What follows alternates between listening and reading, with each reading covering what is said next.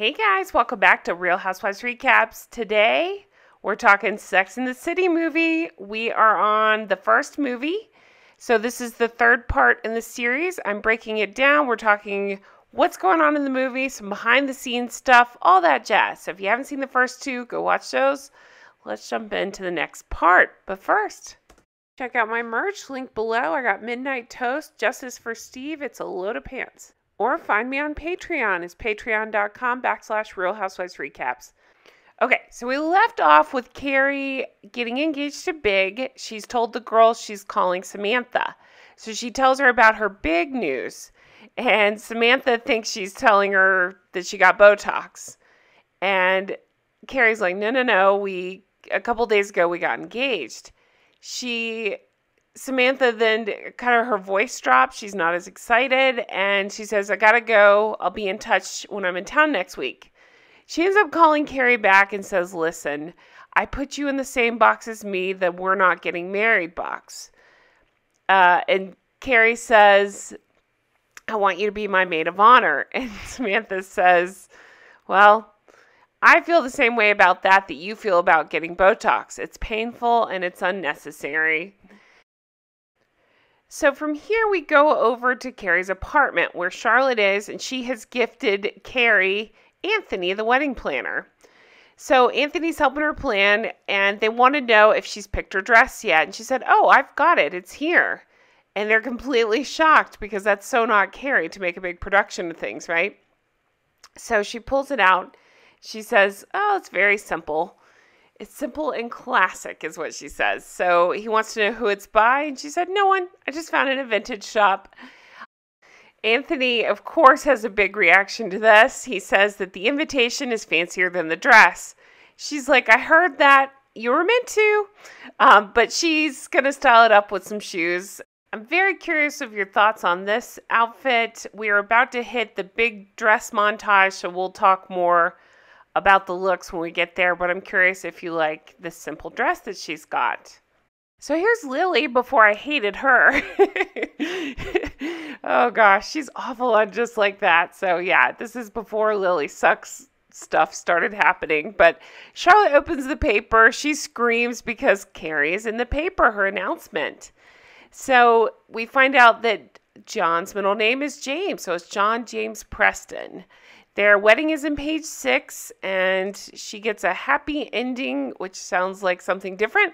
Uh, over 40, apparently, is what it's being touted as. So Carrie ends up going into Vogue, and we get to see Enid. Of course, e- Enid is her editor. We've seen her in the series. She's played by Candice Bergen, and She's inviting Carrie to do the annual age issue. That's what they're calling it, which I would say the age issue is. And just like that, did it, hey, I'm Che Diaz. Waka, waka, waka. okay. Um, so she's going to want Carrie in bridal couture. She's touting it as the last single girl, no pressure. Uh, 40 is the last age a girl could be photographed in a wedding gown. Obviously, times have changed. That's not the case. These are just lines from this silly, silly movie. Okay, so from here, Carrie pretends like she's going to think about it, but of course she's going to be in Vogue. From here, we see click, click, flash. They're playing a song. That's literally the lyrics to the song, click, click, flash. Creative, huh? And they say it's just your typical Wednesday. We got Stanford, Charlotte, and Samantha there to give her support. They're taking her photograph, and this Carol, Carolina, I never said right, Carolina Herrera. They are sending pictures to Miranda. We got Christian Lacroix. Uh, in the side, we see Andre Leon Talley. Now, let me tell you, I read his book. It's fabulous. It's all about Vogue and some of his turmoil with Anna Wintour. I find that stuff fascinating. So there's that. But it was cool to see him. Unfortunately, in real life, he did just pass away not long ago, but it was cool to see him in the movie. I hate this look on Carrie. The hair is stupid. That's my thought on that. um, not as stupid as Miranda's wig. But tell me your thoughts. This is where I want to know which dress do you like for her? Which dress do you not like? I personally don't hate me. I hate the Vivienne Westwood dress, the one that everybody lost their mind over. I hate that dress. It's right. Uh, it's not this one. Sorry, they're gonna show in a minute. But I don't know. I don't mind the black detail on the dress she's wearing there, but um, the hair is pretty stupid. If if you watch Real Housewives of New York, you'll remember that Alex McCord did a photo shoot where her hair was like that, and they were calling her Bride of Frankenstein. That's kind of what's going on. I do actually like this dress. Don't hate me, but I do. I like the black accents. I don't know about all those pearls. I see that and I think, God, I fall down a lot, and I'd probably choke myself by accident. Oh, that was Andre Leon Talley again. Don't love those pearls either. That gives me a very like Flintstones vibe when I see that. I'm kind of all over the place right now. But I get into this fashion and I don't love this. And I really don't love those pearls. But her hair looks nice there. I'll give her that. Okay. Uh, what was this? Dior. There's Dior. Hmm. Yeah, I don't. What is it with her and hats? I just, I don't love it. Mm-mm. I do like this. This is very pretty. I think it's very elegant. I love it. I like that detail on the shoulder there. I think she looks fabulous. And I actually like the big red flowers in her hair. I think something about the red offset with the white, it's just pretty on her. I think it's it's very elegant.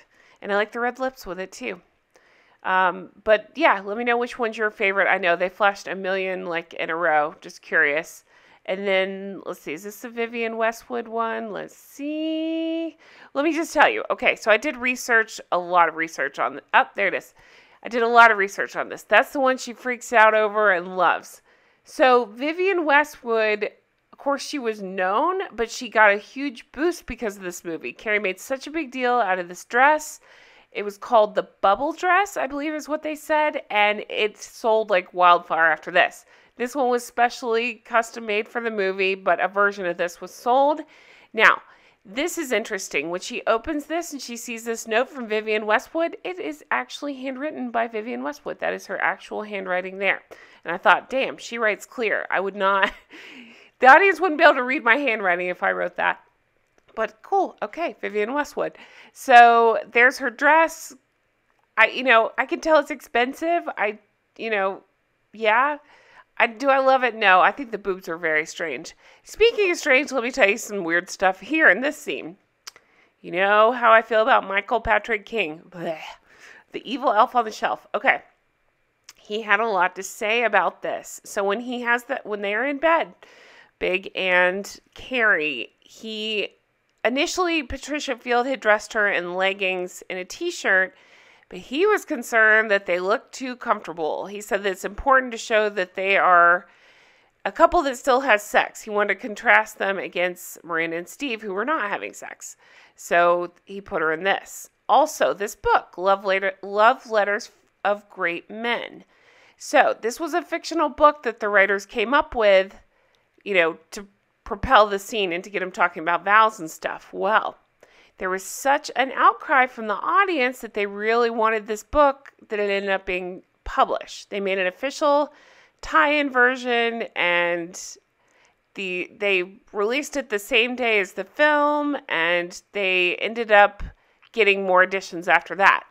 These are facts I got, but then I started questioning, well, how did they know how did people request the book before the film was released? that doesn't really make a lot of sense. I know people can screen it beforehand, but I don't know. I just feel like that's Michael Patrick King blowing smoke and saying everybody wants this book, and then they sell it and they make a fortune off the book as well. But interesting detail. Uh, we'll pick it up from here. I'm gonna cut it off here, and yeah, I it's so much fun to rewatch this movie. Thank you guys so much for watching. You know, I'll be back with another one of these very soon, and I can't wait to keep going with this movie. I want to learn more facts about it. I want to talk more about the fashion. I want to talk about what's going on in the movie.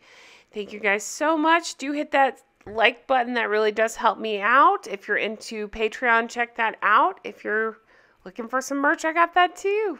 Thank you guys for everything, and I will talk to you again soon. Take care. Bye bye